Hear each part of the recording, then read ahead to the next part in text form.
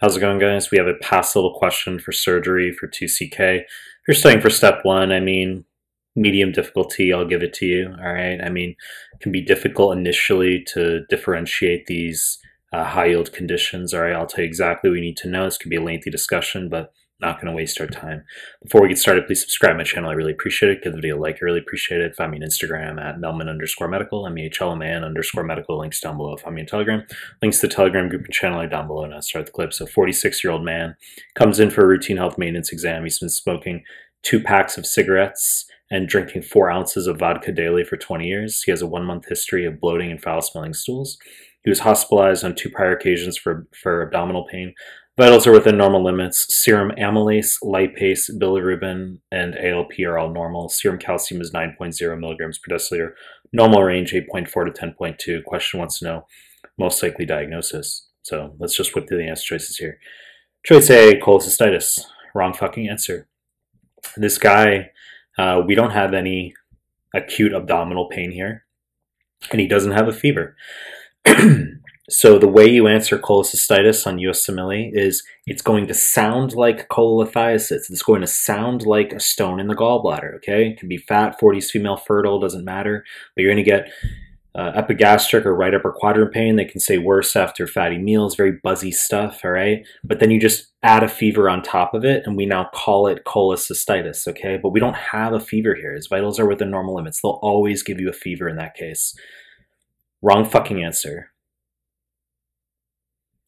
Choice B, real quick, for, for those of you studying for 2CK, you should know that ultra actually for cholecystitis, ultrasound is our first step in diagnosis. If your ultrasound is negative, you're going to do a HIDA scan. Okay, that's what they want you to know. That'll be confirmatory for cholecystitis in patients who have an equivocal or negative ultrasound.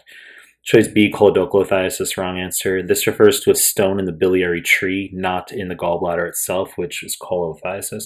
So choledocholithiasis will present with increased ALP and bilirubin. Okay, can obviously direct bilirubin for obstruction. They can just say total bilirubin's increased and you have to infer, all right? But they'll always say ALP and bilirubin are increased in choledocholithiasis. So they can also tell you that a patient had a cholecystectomy a week ago and that intraoperative cholangiography was not performed. Okay, the implication being they didn't visualize the biliary tree when they were removing the gallbladder. Perhaps there was a retained stone in the cystic duct, and that's the part of the bile duct that uh, comes directly off the gallbladder. And then that stone descended into the common bile duct in the week following the cholecystectomy. That'll be a high yield presentation for choledocholithiasis.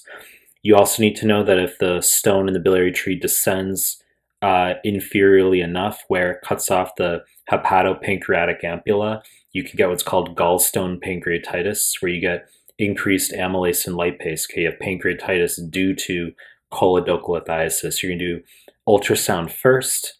They'll often say it in the question that's negative, which it will be in choledocholithiasis pretty much always. And then your next best step is going to be ERCP, which is both diagnostic and therapeutic. Wrong fucking answer. Choice C, cholelithiasis, wrong answer. I mean, I just talked about this. Fat 40s female fertile, no fever in this case, all right? Choice D, pancreatitis is our correct answer. Now, instantaneously, some of you are like, wait, what the fuck? I don't get it. Amylase and lipase are normal.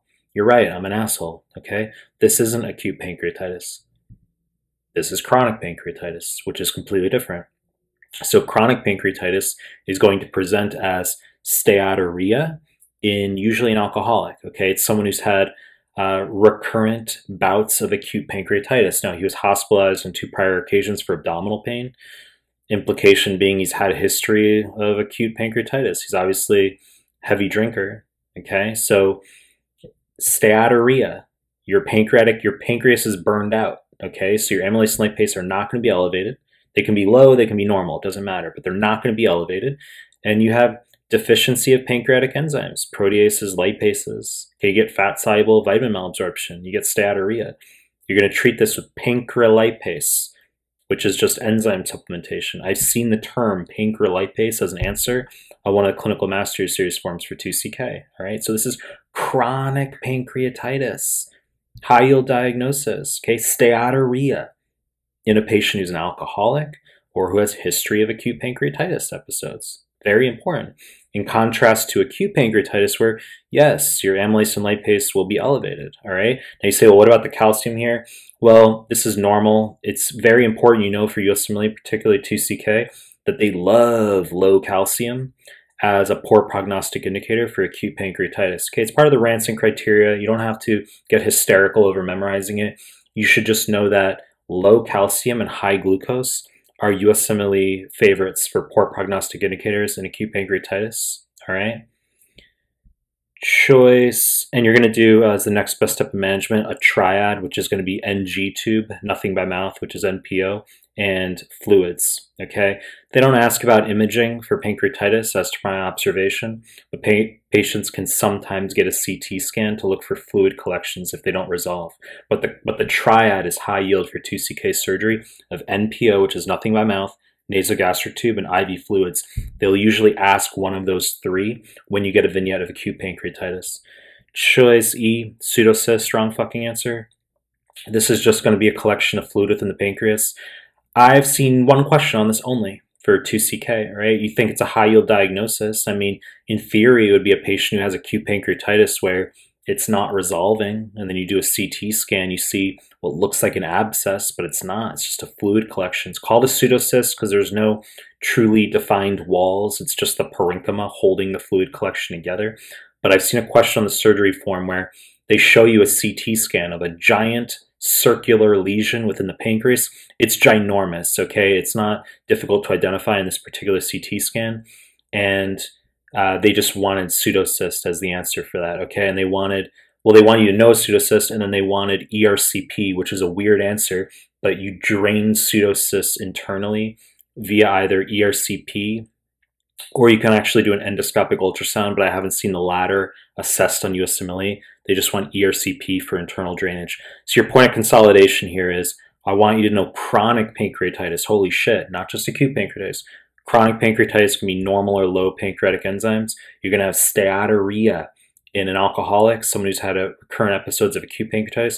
You're going to treat with pancreatic enzyme supplementation, can show up as pancrelipase on USMLE. You know the deal. I'm going to make more content. If you like my stuff, subscribe my channel. And I appreciate your time. That's it.